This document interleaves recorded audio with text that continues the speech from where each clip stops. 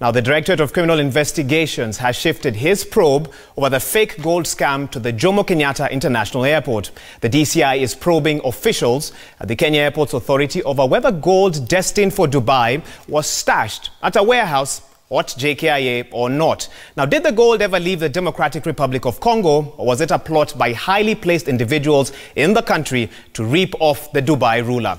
All this as Majority Leader Aden Duale now dismisses claims of a plan to impeach Interior Cabinet Secretary Dr. Fred Matiang'i over the scam. Samogina kicks off our bulletin tonight with that story.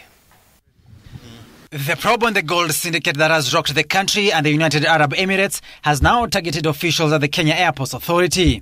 Detectives now keen to know whether the said gold ever got in the country in the first place and if it was stored in a warehouse at JKIA or whether the narrative was a fabrication to rip off the Dubai ruler Sheikh Mohammed bin Rashid Al Maktoum.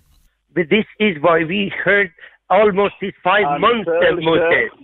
If uh, we know that they are any movement on these codes and these things of these people, believe me, any movement will be a disaster for all of you, m- uh, myself is included.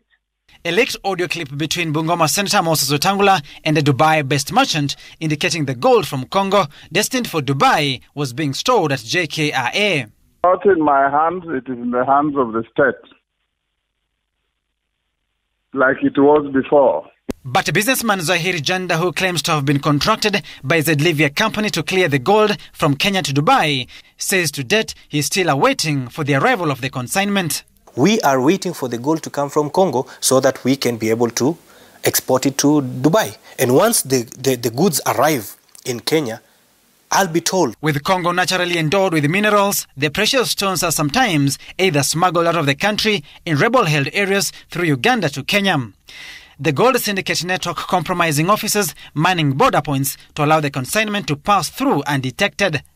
Equally legit gold and diamond from Congo are usually ferried to a warehouse at JKIA where potential buyers will inspect and pay a down payment for their consignment, after which they will be airlifted to their final destination after all taxes and levies have been paid. Reports indicate United Arab Emirates ambassador to Kenya has dismissed any links between Dubai and gold traders involved in the disputed transaction. In Kenya, we have the UAE ambassador. Why is he not speaking? Where is he? Because he should represent his country and say, yes, our government lost this money to Mr. Zahir or any other person, and that we are demanding for either the goods or the money. This as the matter has kicked off a political storm. Majority Leader Aden Duale now dismissing claims of our plot to impeach Interior CS Fred Matiang'i over the gold scam as alleged by Minority Leader John Mbadi early in the week. Days are gone when you carry the list to collect signatures in funerals, in political rallies, and in the restaurant, in the bar of the National Assembly, in the chamber, so that nobody is coerced. So those people who are talking out there about impeachment, those are their personal statements. Early in the day, a section of leaders claimed the plot against Matiang'i was politically instigated given his no-nonsense demeanor.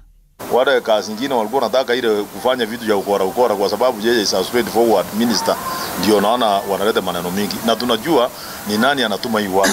and the people who are being targeted for corruption are the ones now who are now saying that look so and so is corrupt so it's a question of corruption fighting back I ask my fellow politicians to leave Dr. Matiang'i alone and to know that mentioning him will not slow down the investigations against some of them.